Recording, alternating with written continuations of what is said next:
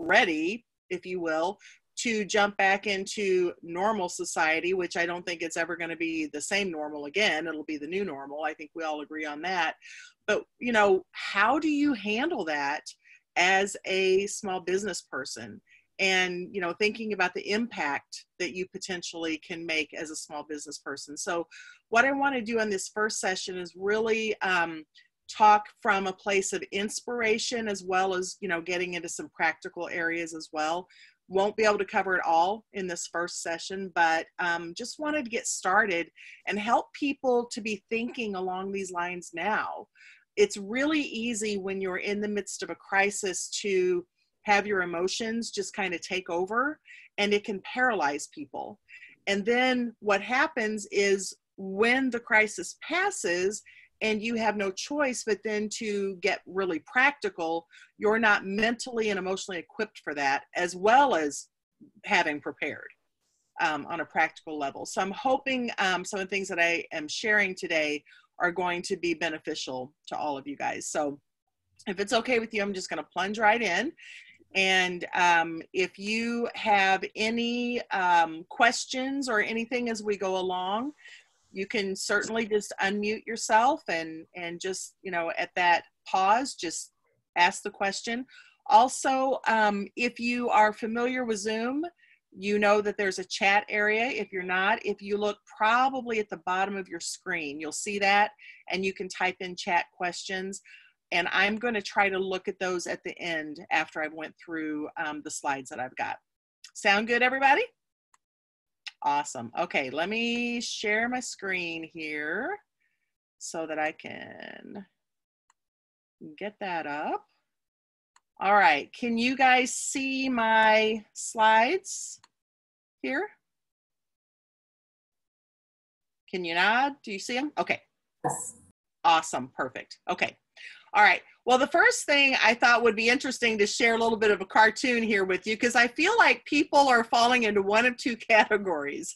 Um, they're either the the person that's standing there going, "Come on, let's do something to fight this," or they're the the Superman going, "Hey, you know, I'm doing it. I'm staying home. I'm doing my part." And I think it gets confusing sometimes for us as to, you know, like what is the right choice for us to make at this time. Um, but I also want to share some, these are real quotes from real business people that I've been talking to in the past few weeks. Um, you know, just concerns that they have, you know, just hoping that they can survive, their business can survive, um, you know, dealing with the loss of control and, you know, how are they going to be able to fight to come back, you know, strong when it's over? And a big one is staffing I know a lot of small business owners, I don't care if you have one employee or contractor. You know, when I say employees, just know that I'm also including subcontractors in there because a lot of us use subcontractors. But if you have people who are relying on you for some, you know, form of income, that weight of responsibility just lays on your shoulders. And I know some of you on here um, operate seasonal businesses. And so that can be especially daunting and challenging too, as far as, you know, am I going to be able to get people in here and get them trained up in time to be able to open my doors and hopefully salvage some semblance of my, my income this year? Um, you know, the other question a lot of people have, and I think rightfully so, is, you know, when this phenomenon passes, what is going to be the protocols? What are going to be the social acceptances for human interaction? Um, you know, I was just watching something last night, I guess it was, it was talking about um, how, you know, we are a handshaking society in the US. And I don't know about you, but, you know, you think about, will I ever feel comfortable just automatically shaking someone's hand again? We don't know those things. Um, so those are going to be some of the thing, the little um, thoughts that are going to be playing in the back of people's heads when we do start to return. You know, in your business, if you operate the kind of business where it's very commonplace for people to be in close proximity to each other, what might that do for your ability to handle um, volume? Will you be able to have the same numbers of people coming in? If you do, are you going to have to put things in place in your business that causes a certain certain amount of distancing or separation? Those are all real questions that people are, are struggling with. And then of course you know how about how you're feeling inside? It's interesting to me how many have shared their concerns about their own emotions and and they're trying so hard to um, not be negative and and not have that parlay onto other people but that really does concern them. And i think as time goes on i think it gets more difficult uh, for people to restrain from some of that spilling out. And then just this morning i was watching a program um, doing some research about ptsd because i've written about ptsd in the past for the common everyday person you know this is not ptsd for the military but everyday people can have it. And i certainly believe that we are going to be a society that's going to have a lot of ptsd running rampant um, among us. There's going to be a lot of adrenal fatigue and, and adrenal fatigue is where your adrenaline has been running really high for a long period of time or chronically and then after a while, your adrenal glands are exhausted and they really struggle to produce adrenaline after that. And that's when people can fall into um, like chemical imbalances and clinical depression and, um, you know, like ferocious anxiety can really take over for people because their bodies are not physically able to manufacture the chemicals that they need to be able to deal with things that they've been dealing with for a long time. I think that's going to be a deal uh, for a lot of people as we go forward in our society. So we're going to have to know that. As business owners, here and, and leaders, here's what you're going to have to remember. Every employee that you have, every vendor that you have, every customer that you have in some way is going to be dealing with a mental fallout from this pandemic that we've had and I say that not because I want to like weigh you down or make you feel um, as if you know you're you're just overwhelmed and and what's the use? That's not my point. Actually as you're going to see we're going to talk about ways that you can go in to a problem solving mode when you realize that. So let's go. Get this off of my screen here maybe. Okay. Um, I love this quote by Napoleon Hill. Every adversity, every failure, um, every heartache carries with it the seed of an equal or greater benefit. And I think that is so very true. You know, when I look back on the Great Depression, there were many people who were in extreme poverty poverty but there were people who absolutely figured out how to um, overcome and they did some some innovative things. And so they were able to you know bring good out of that situation for themselves. So one of the things i want to encourage you to do is to focus on what you can control versus what you cannot control now, that might be kind of one of those like, well, duh, you know, statements. But here's the thing what happens to us is we can know something, but we don't necessarily do something with what we know.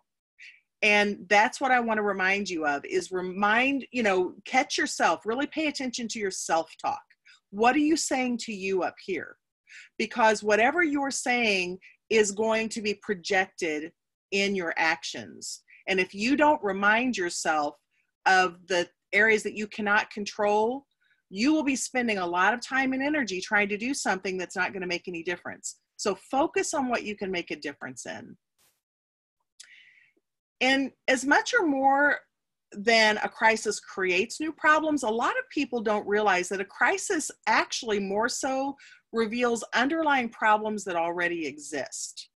So in your business, actually this is prime time for you to you know really sit down and think about your business and what are those problems that maybe were overlooked or maybe invisible to you that you can help identify at this time and start a resolution plan for those you know look at how you can when you come back when we started this recovery process like you can say to yourself i'm going to do this better than what I was doing it before.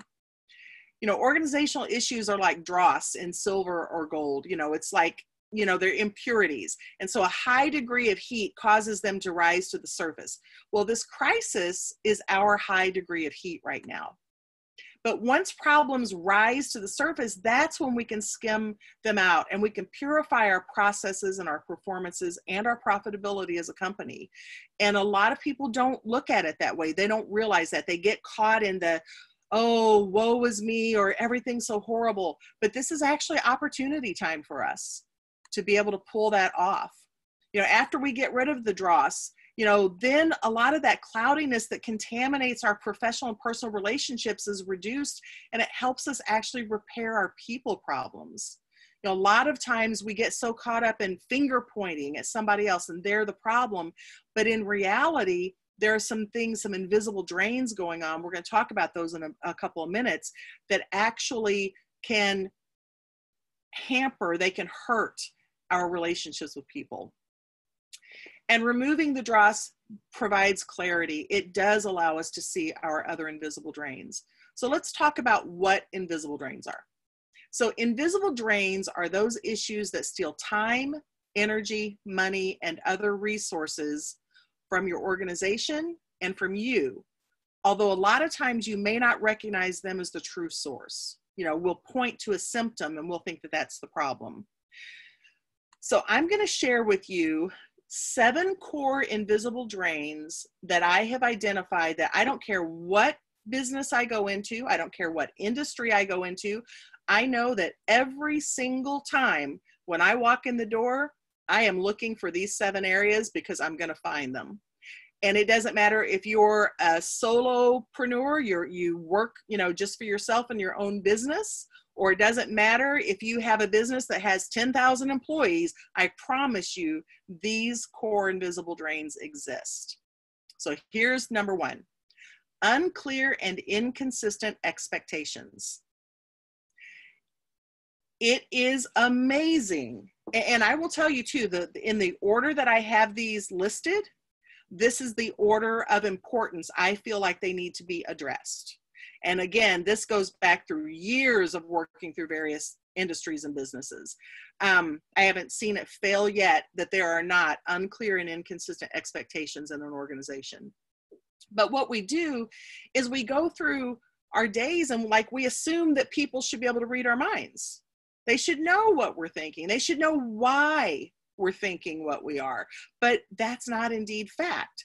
And if we're not clear and consistent in expressing our expectations to other people, then we're setting ourselves up to get frustrated and we may be setting ourselves up for failure with other people. The second one is unclear and inconsistent communication. You know, how are you communicating your expectations? Who are you communicating to?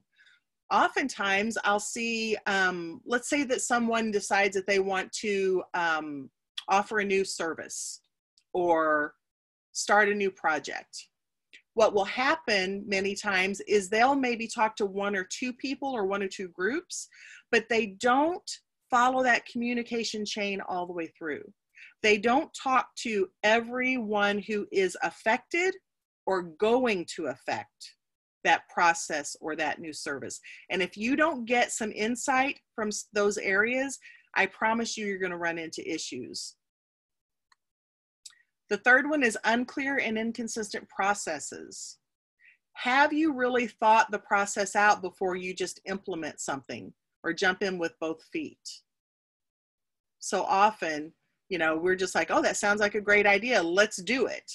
You know and i can tell you i'm a let's do it gal. I am not one to sit on my laurels and you know just i am not afraid, afraid to try new things at all. But i have learned the value of really thinking through the process and again getting that communication. And when i say communication let me say this too. It's not just talking at people. It's listening to hear and learn from other people Communication is speaking and listening. It's two way, it's dialogue. If you are having a monologue, you are not communicating with someone. But to make sure that your processes are in place, you really need to make sure that you get input and insight from some of your people who are going to be dealing with things more directly, maybe, than you will be. Or people who are going to be affected by the consequences and the outcomes of those choices. And when you do that, what you'll find, I work from a preventables mode. Okay. Preventables is I, I ask myself all the time. So if I do this, what's the potential outcome? What are the potential issues that may come from that? What can I prevent now? Instead of waiting to let those things develop, I really try to have vision and look ahead and work from that preventable mode. So by thinking those processes through, that's one of the ways that, that I do that preventable action. Number four, we all know it, we're all guilty of it unclear and inconsistent training. It is amazing how many times a leader will tell someone to do something and then the, it's almost like they have the mental like check off list like check. Oh did that. Okay i'm done. I can walk away. Well here's what they don't realize. When you verbally give instruction anytime we do anything verbally the listener hears an average of 25% of what we just said. So guess what that means with the other 75% it is out the window. So you want to make sure that you are training and training well. And training well does not mean that you go and you tell them, you give them instructions one time. A couple of things you can do. You know, make sure that whatever you're going to tell them, you have it backed up in supportive writing. There are some personalities that require something in writing for them to just have the comfort and confidence that they remember it properly. Um, for some people, their retention is not as good as others, and so that helps them. But for whatever the reason, if you just can take a few minutes and write it down, then when you verbally go over that, then they have something to reference back to. It will reduce mistakes and it will save you money and it will save you time down the road. I can't tell you how many times I have had people you know a, a, business leader contact me and they're so frustrated because they gave verbal instructions to employees and these employees took off and they thought they were doing the right thing. And they start building something or they start preparing something. And then not only is a lot of time lost which we all know is money but so are materials and supplies sometimes. So i really encourage you to consider the amount of time that you're willing to invest in training because training is an investment and it does pay off. The next one is unclear and inconsistent people care. And I used to have this as just unclear and inconsistent customer care because I will tell you, I've moved away from the term customer service. Um, the reason I've done that, customer service has become cliche you know, people hear customer service all day long. They don't even pay attention to the term anymore. But customer care, it's a little fresher terminology, but it also has a little deeper meaning, I think. You know, customer care just it, it has that essence to it that you know you really do care and you really are going to go that extra mile but the reason i moved away from just customers um, the more that i really thought about this, I realized that if you don't take care of your employees, your employees aren't going to care for your customers. So you need to make sure your employees are included in there. If you don't take care of your vendors, your vendors, your suppliers, you're maybe not going to have the resources to provide to your employees or to your customers. So you really need to think about people care. But the final piece to that is so many of the um, leaders that I work with across this country, I find often that if things, even if things are going really well at work and with the business, oftentimes their personal relationships are a train wreck. And I will tell you that whatever happens to you at home is going to affect work, and whatever happens at work is going to affect home.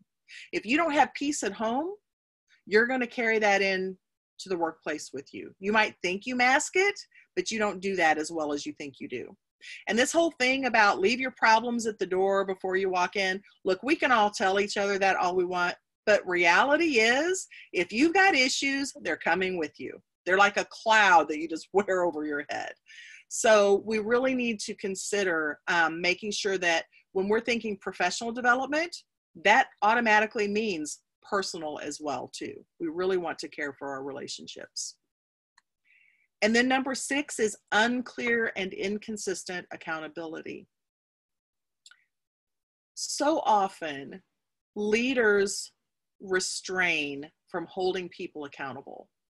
They either are uncomfortable because they're not sure how to hold them accountable, they refrain because they want to avoid conflict. Um, sometimes they just don't want to hurt someone else. But what they can do is that they let poor habits and poor behaviors go on for a very long time. That can drain like a sieve out of your organization. Because if you don't address those things early and often, then that becomes almost like its own virus. I mean, you know, we're all talking about viruses right now. Well, I will tell you that poor behaviors, attitudes, and habits are viral in the workplace. I call them staff infections, and they will pass like you cannot believe. If one employee sees another employee getting away with something, you know what they tell themselves? Well, either A, it must be okay because they are, or B, I'm justified because they are. And so, what you can do by not stepping up and dealing with things in an accountable way, what you can do is actually help manifest more of that viral spread and not even know that you're doing it. So, it's better to deal with it when you're calm, not waiting until you blow up. This is this is what I see most leaders do. They just kind of like shove it down. And I always say human beings are like volcanoes. If you think of our um, emotions like magma, it's like we shove the emotions down, okay? But we can only go down as far as the last thing we shoved. And what happens over time, the pressure builds because it's rising higher and higher. And then that's when we have an explosion point and we just boom all over somebody else, right? But if, if you intentional to do healthy venting, then you can avoid the big explosions at the inopportune time on the wrong person and how you help make sure that you do healthy venting is to make sure that you are intentional to deal with the right person at the right time. And that is early when you are calm and doing it often so that there's not an accumulating effect. And i will tell you it really really works with people. People even if they don't like what you have to say they will respect you when they recognize the truth coming from you. And especially if you if you handle yourself in a dignified way like you're not trying to strip them of their dignity but you're just really um, saying these are the facts. This is what we need to deal with. I need your help. How do we get this solved together? But people understand when they're doing things out of line. And number seven of the core invisible drains is unclear and inconsistent execution follow through. So often people will say, Oh, well, Anita, I know that. And then my response is this then tell me what you're doing with what you know. Because oftentimes people know things, but they're not doing something with what they know. And if you are not proactive and positive in that, I can tell you that everything else is just going to fall apart. You've got to follow through. So those are my seven core invisible drains. So what do you do with those right now? I would really encourage you to talk with the people who, again, are affected by your business, your choices, or affecting, and really measure, get a barometer of where you are in these areas and start working up a plan now to start plugging those drains. You've got you've got this time that you haven't had before that you didn't think you would have. So really start working on a plugging process. What are you going to do to plug your drains? One of those, and some of you um, in this group right now will uh, recognize this, appreciate this. We um, in the outfitting business oftentimes deal with floodwaters. Okay, weather affects everything. But I learned a long time ago that floodwaters recede on average at the same rate that they rise. I predict that we are going to say see a same thing with this pandemic. I think it's going to follow a very similar pattern that the rate that it rose, we're going to see it peak and then it's going to come down at about a similar rate as well. And I think that if we look at it from that perspective, I think it can help us be more prepared for the recovery side of things. So, what can you do? I love Albert Einstein. In the middle of every difficulty lies opportunity. There's a lot of opportunity for small businesses right now to be preparing. The first thing is, you know, I want to remind you that we all influence someone, but the question is, are we influencing well? And I want you to think about that not just for later, but even now. What are you doing to influence your community, your people, your customers that have been coming to you for years, um, your audiences that you've stood in front of? You know, whomever those people are, are you influencing well today? Are you someone who is offering um, a positive voice, some encouragement, some hope? If, if this world ever needed hope, it's right now. Well, what can you do and how can you do it in your own unique way? Because two of us can offer hope, but we'll do it from a different perspective because we're different people. I already mentioned this. One of the things you can do is listen to truly hear and learn. I absolutely believe we were created with two ears and one mouth for a reason. Most of us tend to forget that sometimes. But, you know, listen to learn, listen to what people are saying. You know, I, I'm not someone who spends, like, I don't spend hours on social media, but I'm on there. And when I do go on there, I really go with a voice to, um, I want to hear what people are, are saying. Because look, they will be very honest on social media. There's something about hiding behind a computer screen, even though you're putting it out for the whole world to see, that people will spew. But what I try to do is look at, even when they are making negative comments, to really listen to the heart behind that and figure out if there's something that I might be able to do to help. Here's another um, huge thing that many people forget. You know, be a promise keeper. People do business with people they trust. It's better not to make a promise than to make one and break it. And whether you use the word promise or not, if you tell someone that you're going to do something, you have made a promise. Others have a reasonable expectation that you should keep your word. You can't change what you did yesterday. You can't change what you did up to this moment, but you can transform from this moment on. You can transform from today on. So, really listen to yourself. If you tell someone you're going to do something, make sure that you do it. If you are making any kind of claims or promises to people right now, when we move into recovery phase, make sure you follow through, make sure that you execute on that. And you know, that may seem like common sense, but I'll tell you, it's amazing how many times a day human beings tell people, oh, I'll call you back, or oh, I'll get you that information, or oh, I'll do this or that, and they don't follow through. We have really become a society of promise breakers. Um, I thought these were some interesting statistics. Sources report that small businesses and organizations make up 99.7% of US commerce. 99.7% of our commerce is small businesses. So if you think that your small business isn't important, you just consider that fact. According to the US Census Bureau, employer firms with less than 500 employees make up 46.8% of our national payroll. And the SBA's Office of Advocacy notes that 96.1% of new innovations, ingenuities, and patents originate in small businesses and organizations.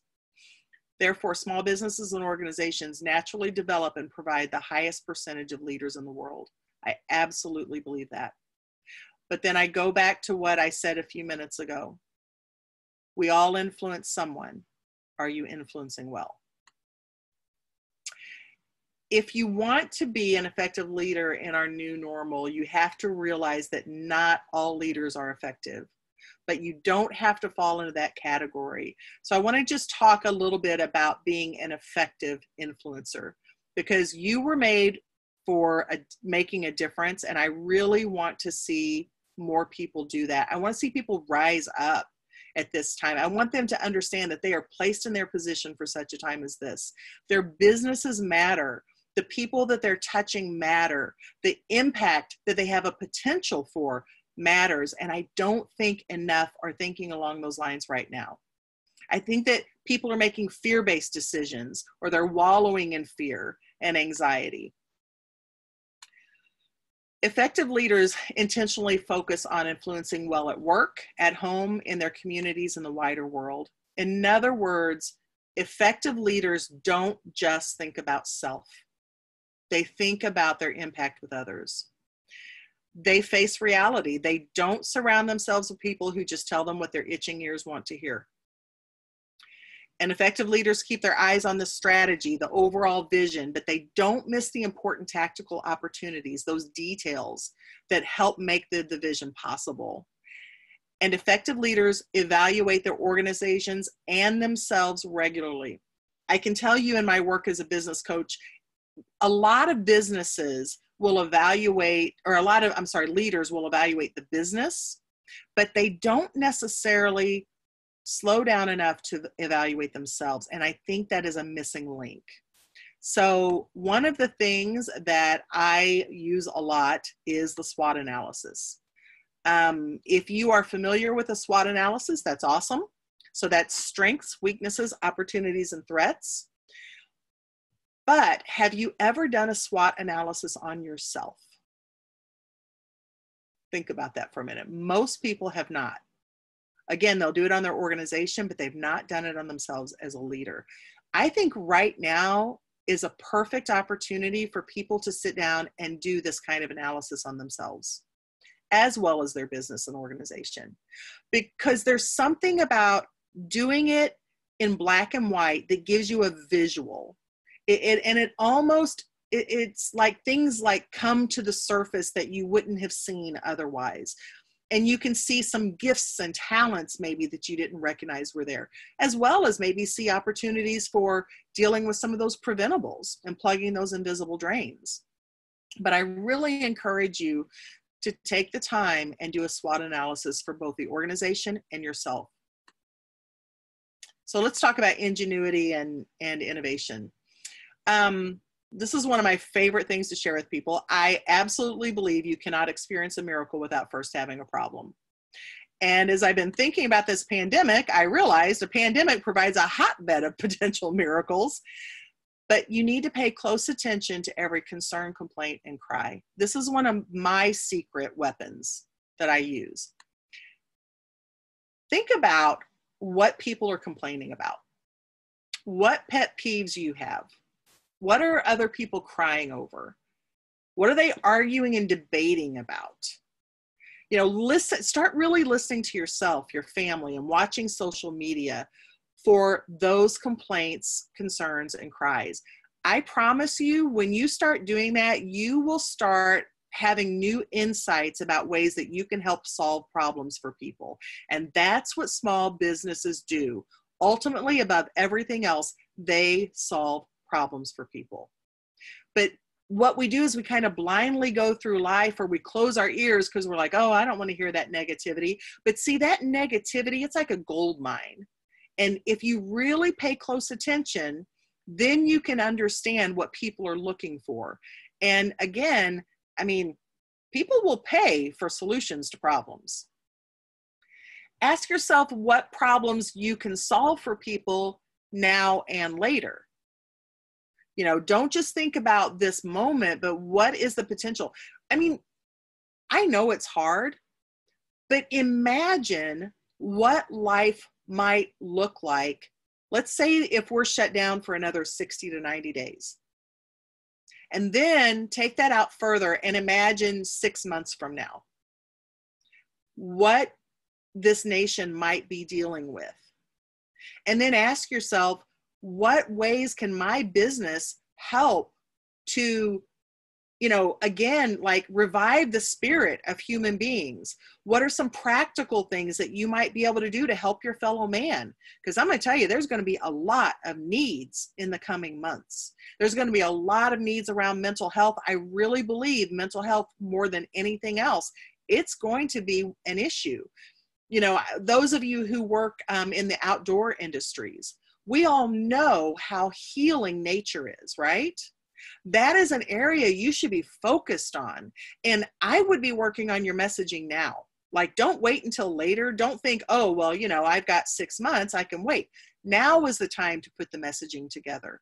Now is the time if you can do some, maybe some video tutorials or um, maybe some, you know, video encouragements or inspirations or maybe you know a video that talks about the statistics the science behind how nature is truly healing to the brain and the body and the spirit because those things are real. And do it in a way that's unique for your business. Um, you know i think about like uh, like people who own you know hair salons. I mean hey hair salons are on my mind because my gray is really starting to show. But you know i think about them you know what do they do for mental health? Well you know i know when i go in and i sit down and my stylist takes care of my hair and I walk out and I feel fresh and it, it makes me feel like I look better. It's good for my mental health you know those are some areas that they can be focusing on. But i don't care what kind of business you are we all need to be thinking along the lines of mental health because it's going to be a commonality that we're all going to be dealing with. Another thing that i often encourage is spend some time online looking at negative reviews. A lot of times people avoid those. But again I, it's a gold mine what are people complaining about? Well hello, those are problems that can be solved. And you can look not just at your reviews, but look at competitor reviews. Look at, you know, others in your industry, look at their reviews, look at different parts of the country. You would be surprised at what kind of innovations you might learn because of someone else's issue or an innovation that just comes to your mind that you wouldn't have thought of otherwise. But really look at those negative reviews something I, I challenge myself with very often is turn the problem upside down. You know, whatever the problem is, I just ask myself, what might the opposite of that problem look like? And by doing that, turning it upside down in my head, it really helps me come up with a lot of creative solutions. You know, now's a great time to work with your friends and your family from home and on video or conference calls and start brainstorming. You know, brainstorming is is that time where you don't like throw anything out. No idea is too crazy. You don't say, well, that's not feasible. We can't afford it. You just put it all down for the moment. You can flesh it out later and decide about feasibility. You can decide later, you know, whether, you know, something uh, is cost effective for you or not. But by allowing yourself to freely brainstorm, what happens is one person's idea may trigger something in somebody else. And the first two ideas may be crazy but a third person comes up with something that will really work. And the more free you are in doing that the more those create creative ideas come.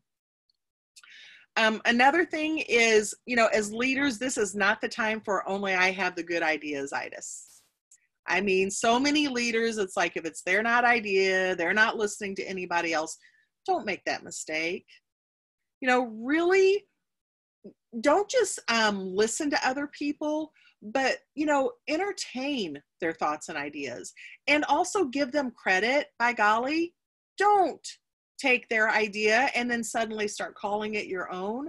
I see this happen so many times. You talk about a trust breaker, that will cause people to withhold. But, you know, you make it a we spirit it's like hey this one's so and so's idea and i just really want to you know applaud them and i you know want to recognize them for that idea it was so great because they've made such a difference in the business. Now is a great time to start doing more of that with your people. You know you may not be able to be on the front line in the trenches working in your business right now but you can be working together behind the scenes. You can be like the engine beneath the hood right now because those employee insights, those frontline people can really surprise you. And I will tell you, so can your family sometimes. Um, sometimes we don't want to ask other family members or friends or, or, you know, for whatever reason. But sometimes it's interesting what an outsider's view is. You know, those fresh eyes and ears are pretty incredible. And create a recovery preparedness plan now. You know, don't wait until the crisis hits, and it will, because you're going to have to be ready. Here's what I predict is going to happen with a lot of small businesses it's going to feel like this lasted forever while we're in it. And then suddenly it's going to feel like it, it lifted. And when it does, everyone's going to be in a scramble. They're going to be a scramble of first trying to process these new emotions. Remember, from a place of adrenal fatigue. So you're not going to have the same strength of brain chemistry that you normally would have. And you're going to try to hit the floor running.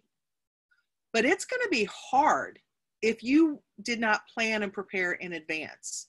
It's going to be hard for you to focus. You're going to be surprised at how tired you're going to be.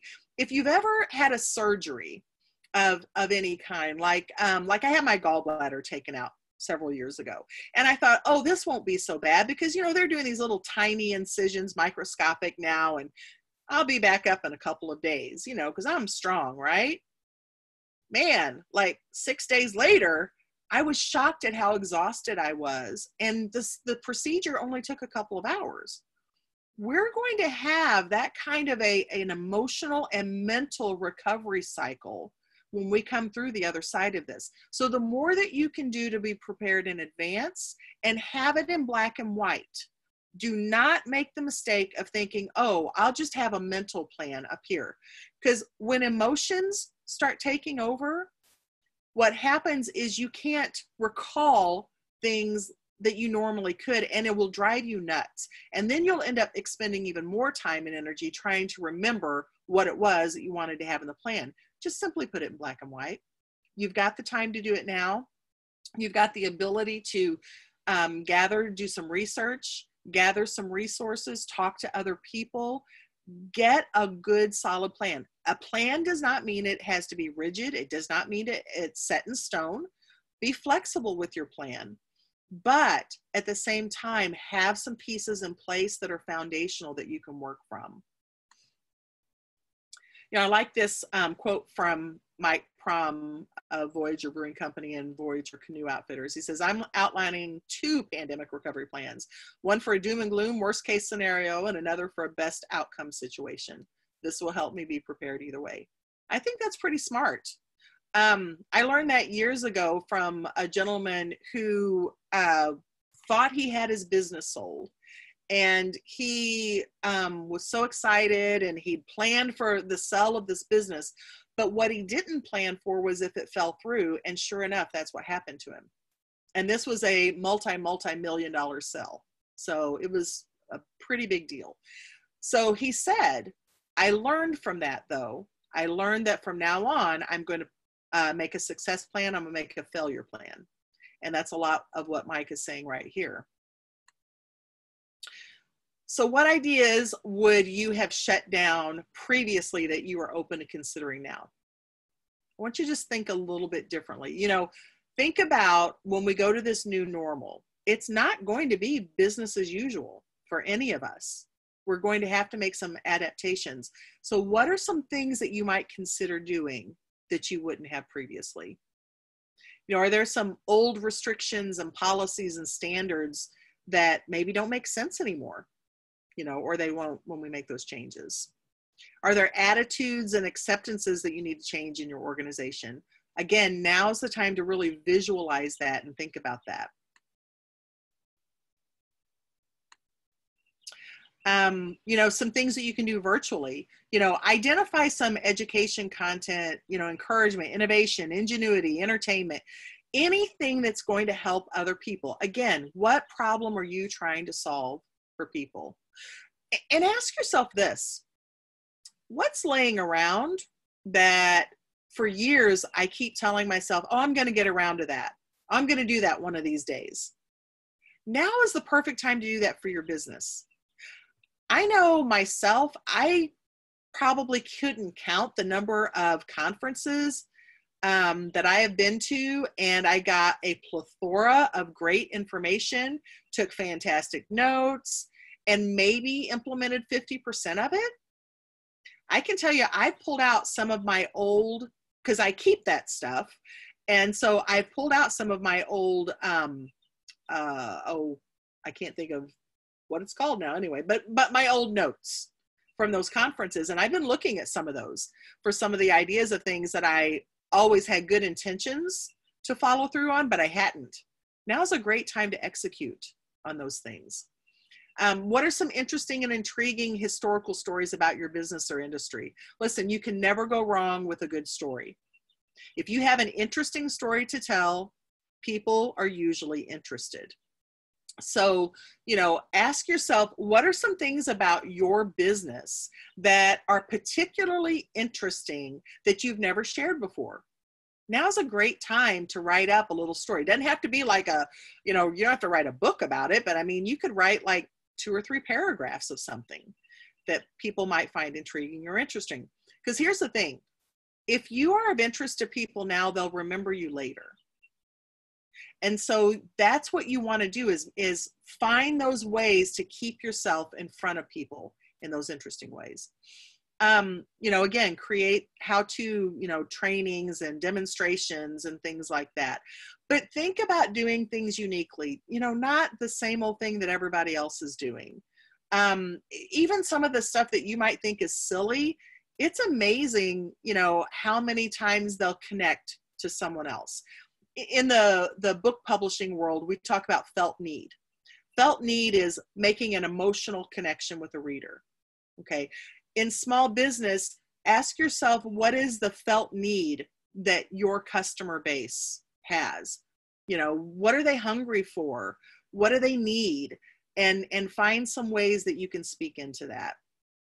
And if you you know learn something yourself i mean share something that's inspirational or educational or motivational um, if you listen listen to a good podcast or uh, read a good book or a good article or watch an informative show i mean share that information.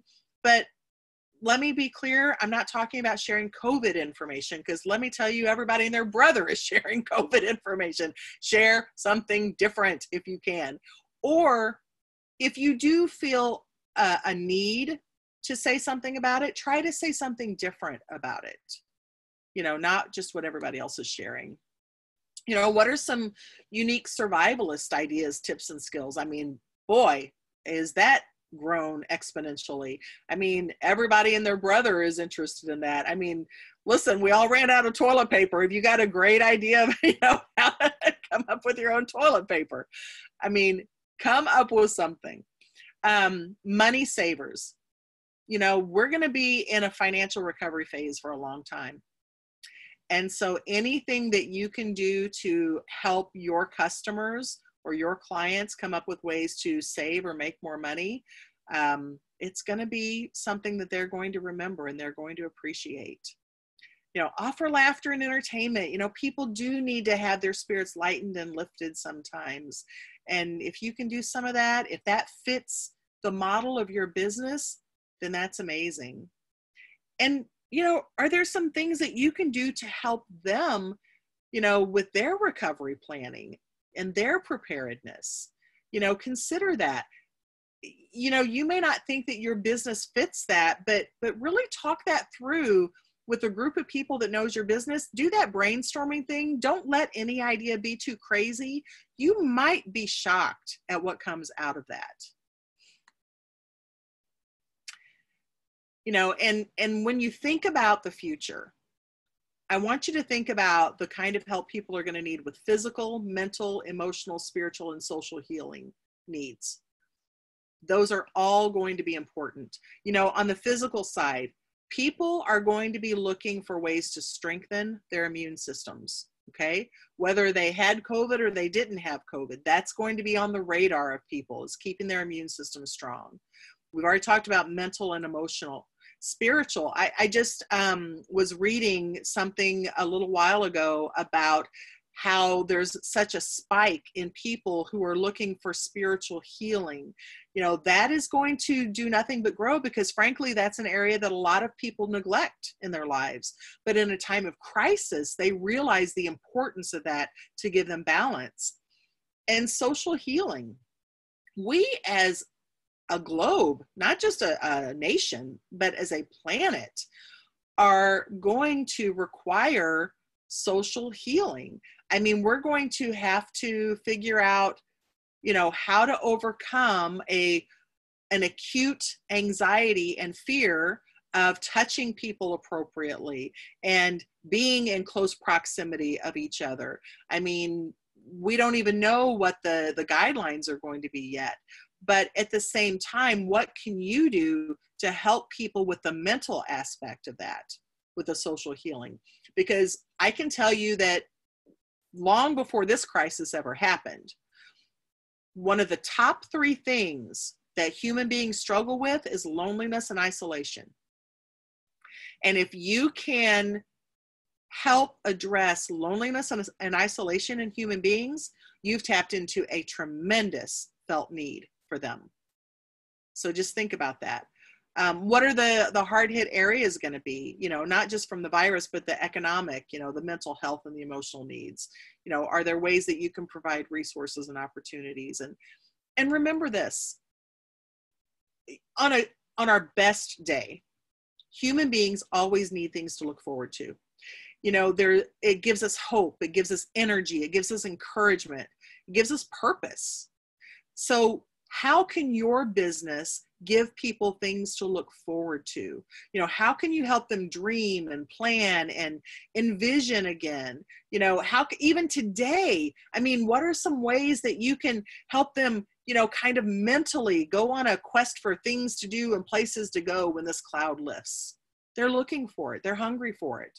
They need to be able if they can't go there physically right now at least to be able to go there virtually what can you do you know maybe you you know i think about some of you in the outdoor industry and like you know do you have like old still pictures and video clips and things like that that you could you know have edited together and maybe create some kind of really cool virtual experience for people?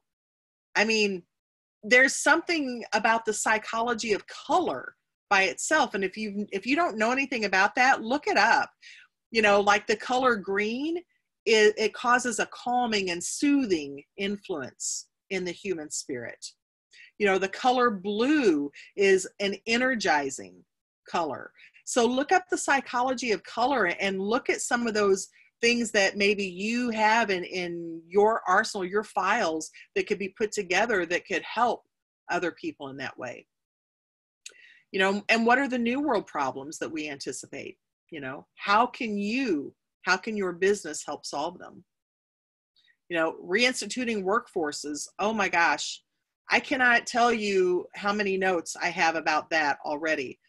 I mean, we don't have time to get into all of this on this session. I'll do another session specifically on um, workforce, but I will tell you, I anticipate it being a real struggle for people to get back into the routine of going to work because they are going to be dealing with PTSD. They're going to be dealing with um, compassion fatigue. They're going to be dealing with um, anxieties and fears.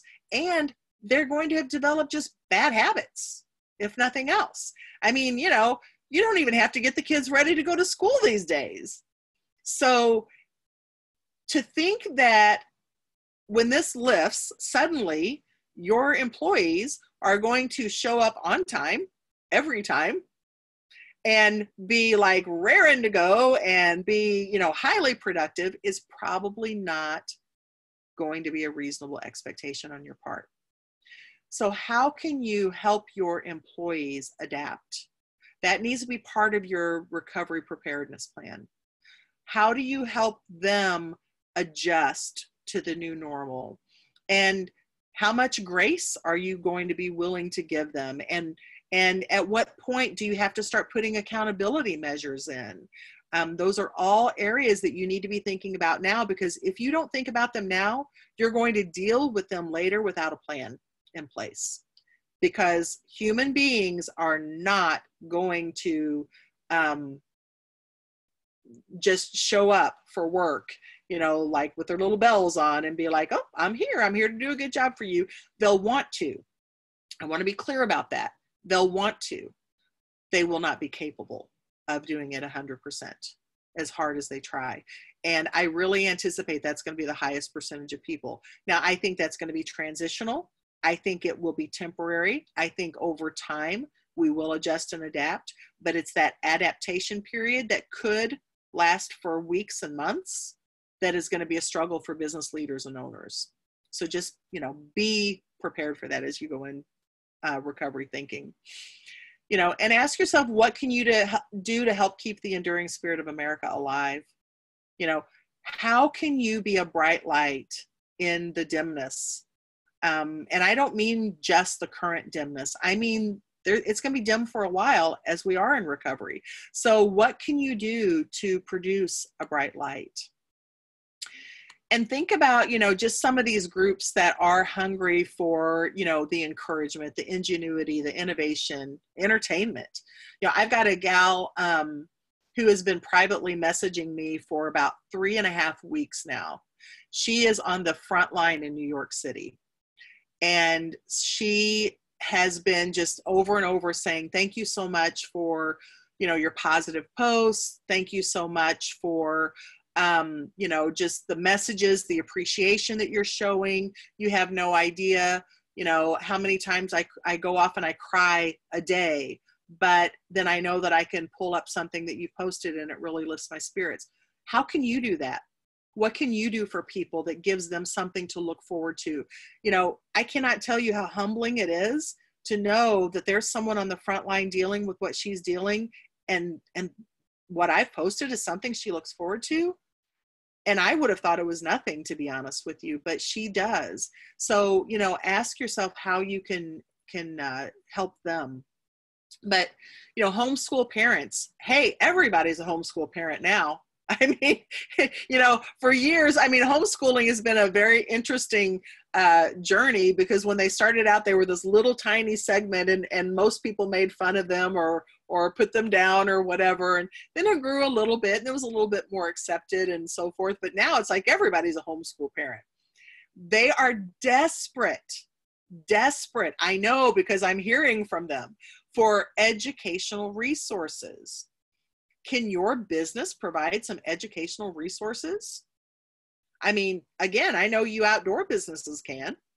Um, I would imagine that every business leader out there could come up with some kind of business kind of um, educational piece. It doesn't have to be something long, it doesn't have to be complicated, but something that truly would educate a child. You know, maybe you do a video about what it really looks like to be a business owner you know i mean a lot of people think it'd be really cool to own a business but they have no idea what it really takes. You know maybe you do something on what effective leadership looks like. You know that could be a great educational piece for these homeschool parents. You know first responders law enforcement healthcare community um, pharmacists. I mean think about what they're dealing with day in and day out. Is there something that you know you can offer them that maybe they can't take advantage of it today because of the hours that they're working and, and the demand on them. But maybe there's something you could offer for them later something that gives them the anticipation of something to look forward to down the line. I just think that would be so cool if they had something that that they knew that they could do that would kind of help them regenerate their their energy. You know and grocers and bankers you know people don't realize bankers right now you know I, i'm a board of director for a bank. I can tell you these guys i mean bankers hours that's a joke. I mean these guys are working 9 10 o'clock at night back in there at 6.30 in the morning trying to keep up with the demand for these sba loans. Um, they're doing a tremendous job. They're whipped. They're tired. What can you do for your local bankers? You know ask yourself that um, and government officials. You know, we as a, a, nation in the US, you know, we're so prone to just like um, attack our government officials, but we don't stop and think about like they're human beings.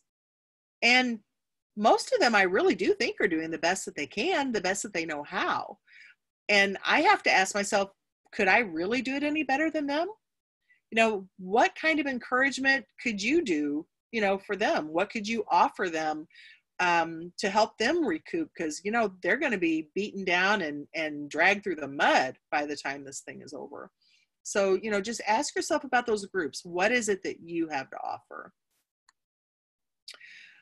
One of the um, things that I do, I, I actually um, do regular leadership training. And this is one of the things that I've created. And it's a leadership affirmation, effective leadership affirmation. Um, but this is something that I encourage uh, the, the group that I train to read on a daily basis to remind themselves of the leader they want to be. And it says, I'm an effective leader choosing to serve, sacrifice, and support those I'm responsible for. My choices and decisions strengthen my leadership foundation, built on honesty, integrity, and concern for my team members. I focus on providing clear and consistent expectations to all I interact with. I communicate clearly and consistently, taking responsibility if there's a breakdown. I do my part to create clear and consistent processes, considering all who may be impacted by any changes. I participate in and support clear and consistent trainings as needed and encourage my team members to do the same. I provide clear and consistent customer care on a daily basis, understanding their needs come first. I ensure clear and consistent accountability is followed through on, strengthening my team, our organization, and the community we serve. I lead better by listening twice as much as I speak. I understand that it is more important to defer and give credit rather than standing up to say, I'm in charge and I did it. And I will conduct myself as an effective leader in my personal and professional life at all times again, it may seem really simple minded, but it's so easy to lose sight of who we want to be. But by making it a practice of, again, intentionality, you know, reading and reviewing a daily affirmation, it can make all the difference in how you carry yourself throughout the day and how you carry yourself in the days forward as we go through this recovery. Um, one of my favorite little stories that I use in my leadership is this. Um, but first, I love this quote from Aristotle. Whoops, and I just went the wrong way. Let me go back.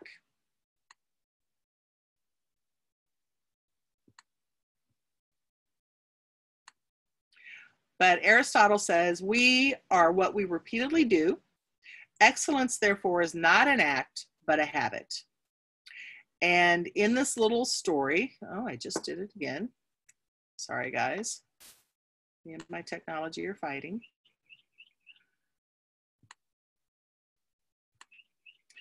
It says there was an important job that had to be done, and everybody was asked to do it.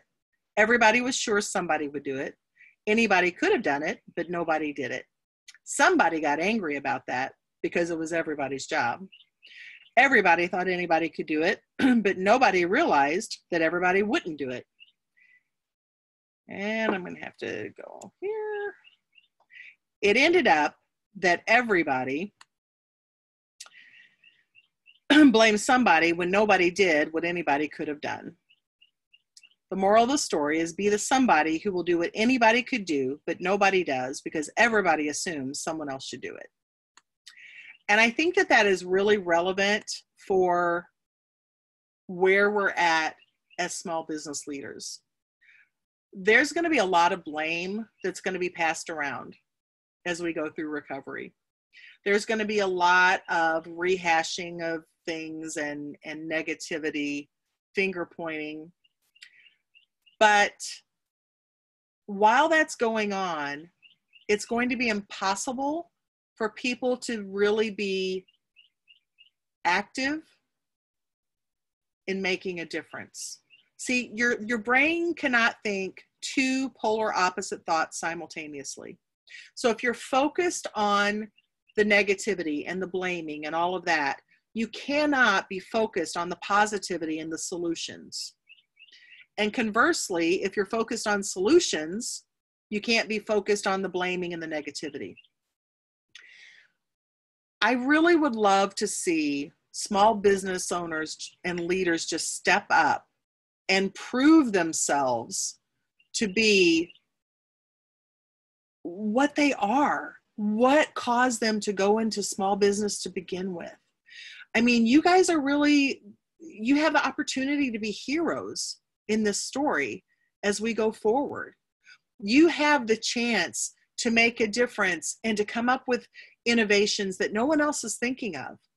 You have the opportunity to touch lives in, in ways that a lot of other people aren't. You know, the, the big businesses don't have the um, ability to know their customers like you do. But even today, in the kind of climate that we're in right now, you can be spending that time to let your customers know that you're there. Let them know you haven't went anywhere, that you do care, and reach out in personal ways. You know, think about your customer base. You know, if you've got access to your files, with your customer information.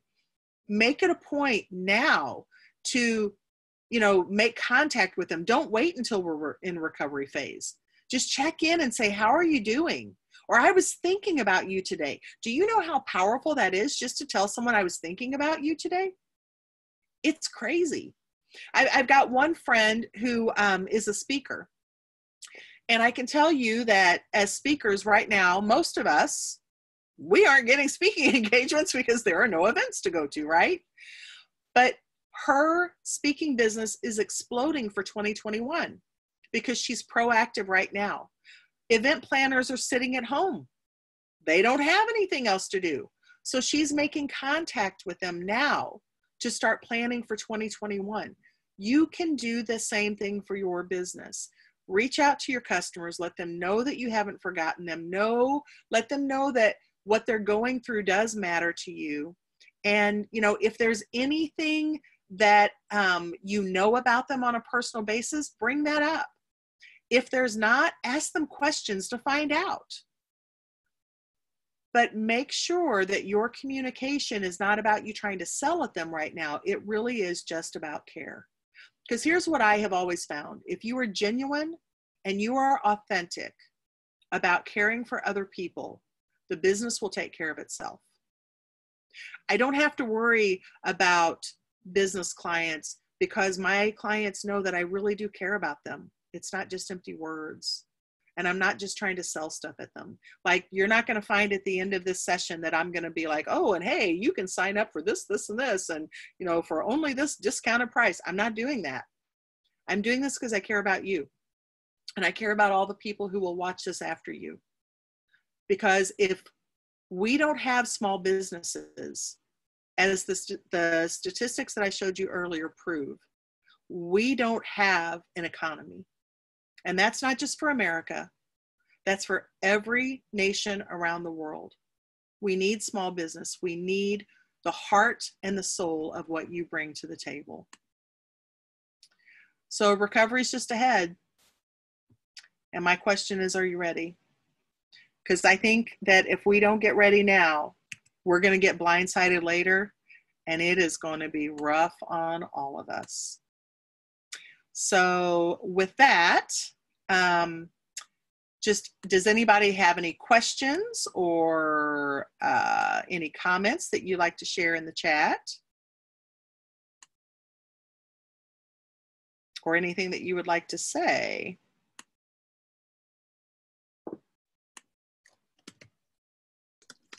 Uh, I want to say thanks. Thank you. Um, this is inside, but we're not getting out, and it's, it's great to have some interaction. Awesome. And uh, lots of great food for thought. It's great to see everyone. Yes, that too. it is. Well, I am planning on having another session next Monday, same time. So if you guys uh, can come back, I'll send out invites for that. Um, but I just I encourage you guys really um be all that you can be right now. I mean, you I really do believe that small businesses are positioned for such a time as this. I know it's scary, I know it's hard, but I also know that you can rise like phoenixes out of the ashes of this. And I believe in you. So I just want to encourage you guys to keep on keeping on. Well, and you gave us some great ideas. Thank you. You are very welcome. All right. Well, hopefully I'll see some of you guys at the next session. Okay, thanks. All right. Bye Thanks. Anita. Sure appreciate it. No problem. Thanks.